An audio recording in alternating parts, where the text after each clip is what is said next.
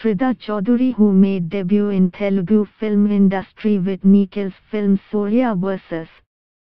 Surya couldn't bag any offer from Tollywood after that. Thrida was seen in a traditional girl next door kind of role in her debut film.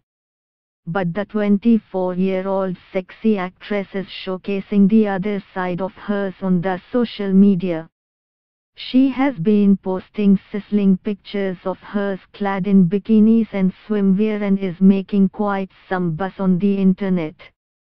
Look at her posing in a swimsuit with a serene background, which she calls, my very own Blue Lagoon moment. Her sexy figure and thunder ties will definitely draw second glances from the onlookers. The caption on her swimsuit says it all. Hot sauce indeed.